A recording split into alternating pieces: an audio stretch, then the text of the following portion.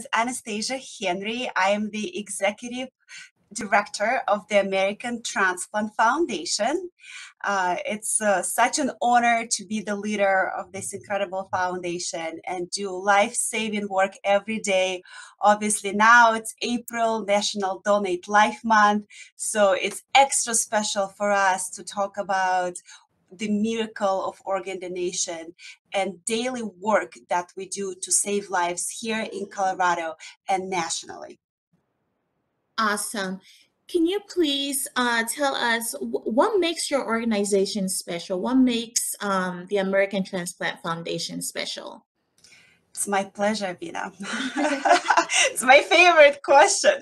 You know, I think um, what really makes us special is that for us it's not the matter of numbers it's not the matter of volume. Like we really get to work with every family whether we're providing financial support emotional support education support like literally over this weekend we're talking on the monday morning over the weekend i have patients who just got home uh, from the transplant center and i'm checking on them like how they're feeling they just got a new kidney it's so exciting. So that's what makes us so special is that we have this personal connection to the families that we're working with. And we always say that we provide this end to end transplant support services. And that includes those people who are waiting for transplants, their loved ones, their caregivers, those people who are thinking about donating an organ, people who receiving transplants, living donors, post-op support. So we have that transplant support, and that's what makes us unique. That not only we meet people at certain point of time, like we develop these lifelong relationships. I love that. I feel like that would be such a scary process. So I love the fact that you guys have such close relationships with your patients. Um, Okay, let's see. The next question is how many transplants would you say occur in a year? So for United States, last year actually it was the record number, over 40,000 transplants. So that was highest ever. In Colorado, we didn't have a record number, but it was pretty close. I think it was like second best year ever. Um, so we had 582 transplants last year in Colorado. Wow. Um, so when you say it was like a record breaking number, why is that? Multiple reasons. I think that there will be more formal studies. I think the uh, data scientists, they want to see kind of a trend and then they can uh, really look into it. There are multiple reasons. You know, some things that happen that there have been different organ allocations rules nationally also uh, so many organ procurement organizations you know they really try to be more efficient with how they recover organs how organs have been utilized. So that's also positive. Um, and there are also some negative trends. Like for example we know that during the pandemic and right afterwards uh, we had higher number of you know certain drug overdoses and such. So uh, i think that it will be really fascinating to see real research. Right now this is just just kind of like conversational reasons. When we talk about okay. organ donation, we need to differentiate between becoming a registered organ donor when you have a little heart on your driver's license. It's so critical to do. You can do it in DMV. You can do it just, you know, donate life and uh, donate life Colorado. You can register. Um, so, but your actual chance of becoming an organ donor um, when you die is, you know, three out of a thousand. So it's less than 1%. So it's a small chance, but it's so necessary that we all do it. It's really critical. Um, if you are interested in learning more about how to become a living organ donor, so we definitely like this is kind of like our area of expertise. And so you can donate safely kidney, uh, donating a liver a liver is very doable very possible is more complex. What i think people don't know that donating a kidney is can be much easier than one might expect. So do you want to guess like how long you're going to be in the hospital after you donate the kidney? Two months? Two months? Okay we have a guess. Okay okay. mine is uh i'm gonna guess seven days. Seven days okay. It's like two to four days and then you can go home two to four days. And then we have so many donors that, you know, like maybe like after five, six days, people start working from home. So it's really amazing. If you have very, very much like kind of physically heavy job, physically involved, like heavy lifting, then yes, it will be longer since you can do that. Yeah, um, but still, you know, like three to four weeks, like you can get back to your normal physical activities. With livers, it's longer, it's more difficult recovery process, uh, but still, like it's it's amazing. You know, like not a lot of people realize that. Um, as women, we just actually had a volunteer who we worked with uh, when she was looking for a kidney transplant. And now she received a kidney transplant and she just announced that she's pregnant with a baby boy. Mm-hmm. so it's beautiful. And we have you know transplant recipients who you know expecting and living donors both kidney and liver. So it's really is amazing. And the doctors will do such a great job screening you. So if there is any any chance that something might go wrong you know they're very careful. Obviously nothing is like 100% so there's still complication rate but it's less than 1% uh, and and the doctor doctors really, really do an incredible job, like screening your health. So uh, that's that's a very um, good process. I love that. Thank you for sharing that with us. Um, let's see. How are organ uh, recipients uh, selected?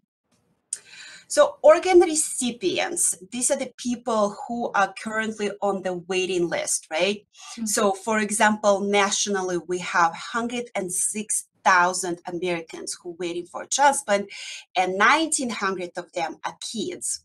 And in Colorado, we have less than 1500 which is actually a really good number like yes it's obviously we want that number to be zero but 1500 is less than we had in a very long time Mm. So it's very important, like if you have um, certain health issues, like just to ha- get your regular health screens, it's so important because you don't want to be in a position when all of a sudden you in kidney failure, right? You need to understand that, okay, I have a kidney disease and my doctor is aware of it and my medical team knows that and they're monitoring me. So the best thing to do is to really go and do your checkups. Because we have we have volunteers that have been so good about doing their checkups. They uh, got listed for a kidney transplant and they received a kidney transplant without going on dialysis. Why? Because there was plenty of time they kind of did everything. Also it's so critical you know when people follow doctor's recommendations. And let's say they start exercising eating better doing little activities like walking it makes tremendous difference. And this is what we love to see you know when as a result of transplantation even before people receiving transplant they just getting healthier. And i think it's such an honor whether you received a kidney from somebody who passed away or just like any organ you received from someone who passed away. And it's an honor that you have that organ that somebody died and you have right? It's such a responsibility. So we see it very often that people actually making much better health choices because they know that they honor that organ and that life of that donor.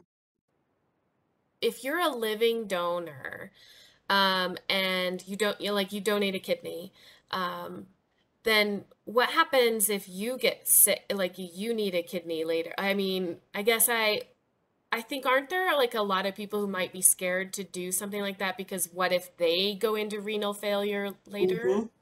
Yeah, that's a very good point, and thank you so much for bringing it up. So the way that it works, that luckily as a living donor, if you ever need a transplant yourself, you will go on top of the list. So it's a very, very important information that kind of gives you that confidence.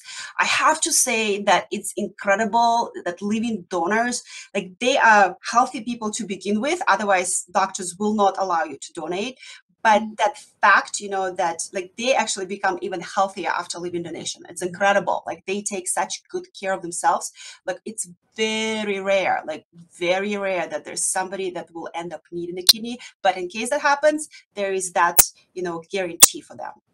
So and then i guess on on the other opposite end of that how if there is somebody who is a non-living donor mm-hmm. um you know, is that considered a good option for some people who maybe have been on the waiting list for a long time to get a kidney or something Yeah. from something from someone who's non-living?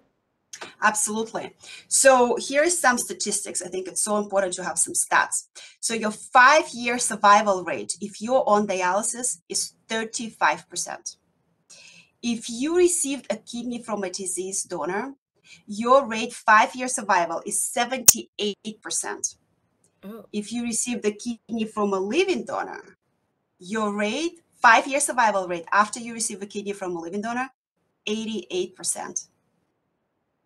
oh wow.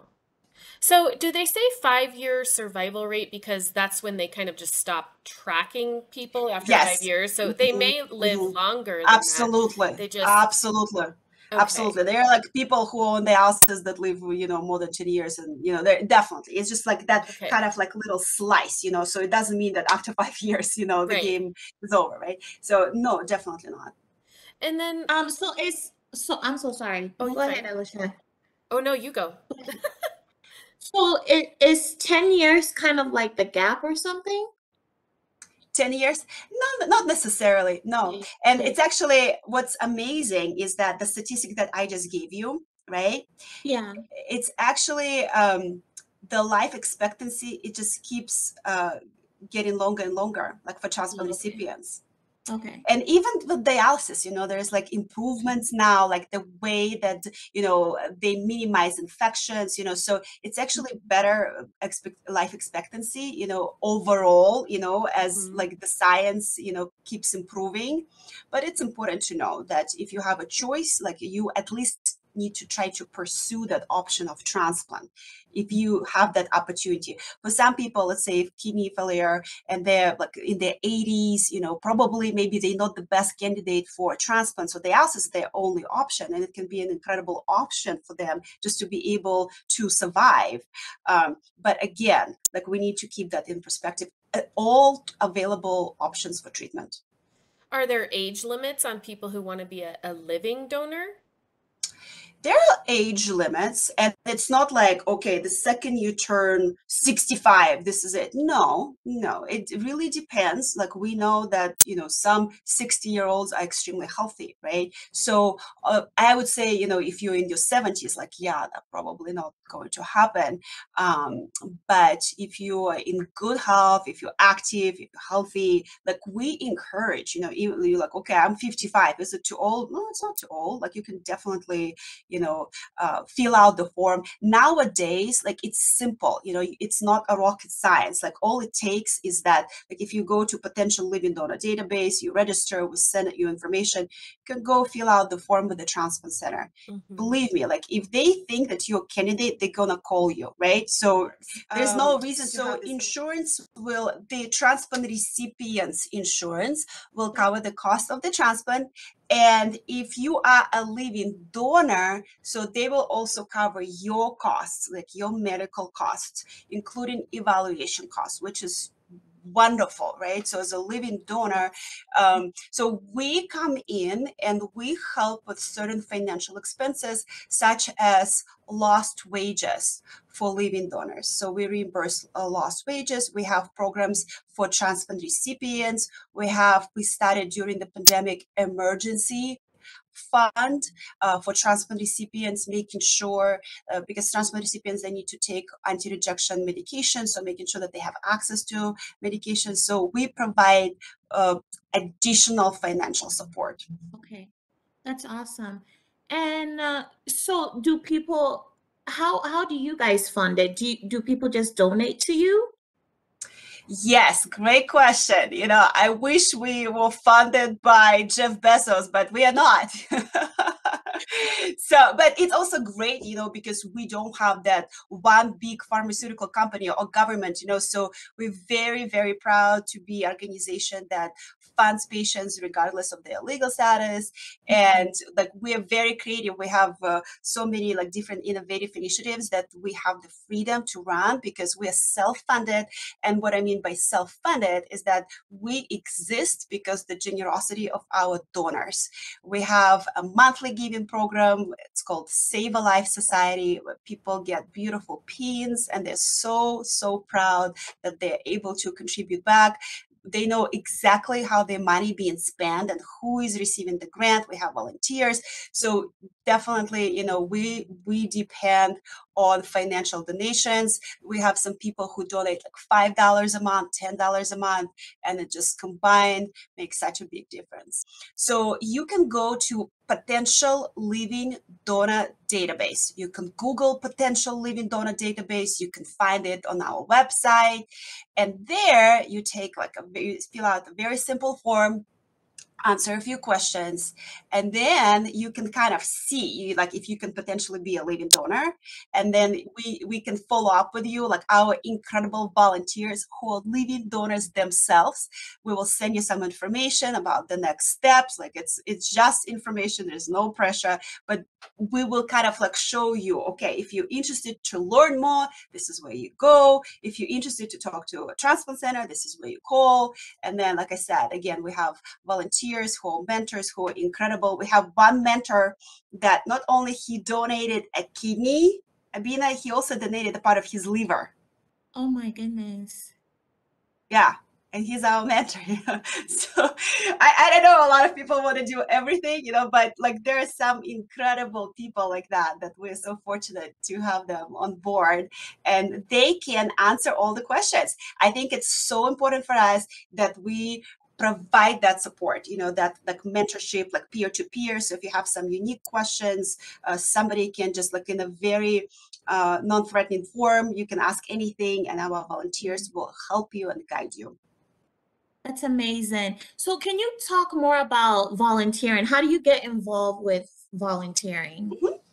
Yeah. yeah. so we are volunteer driven organization our volunteers they at the core of everything that we do. So if somebody wants to get involved, you don't need to be a living donor, a transplant recipient. Let's say you just want to help with office help. We always have so much going on. So just go on the American Transplant Foundation foundation.org, click on um, volunteer opportunities. There are lots of things. We have an incredible internship program that many of our interns, like they, they work in DC, you know, in some huge national organizations. We're so proud of them. And so many of them, they actually stay in healthcare field. Um, so that is also available. Thank you so much again for your time. Um, do you have any last words that you want to leave um, our audience with? Well, I just am so grateful for everybody who has registered already as a registered organ donor and who spent a little time to learn more about living donation. If you have any questions, you can always reach out to us. Information is on our website, americantransplantfoundation.org.